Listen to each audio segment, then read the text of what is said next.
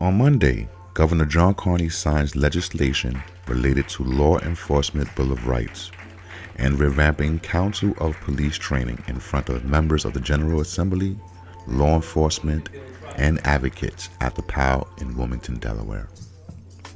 The two pieces of legislation that was signed was House Substitute 1 for House Bill 205. This act makes a number of revisions to the Law Enforcement Officers Bill of Rights in Title 11 of the Delaware Code.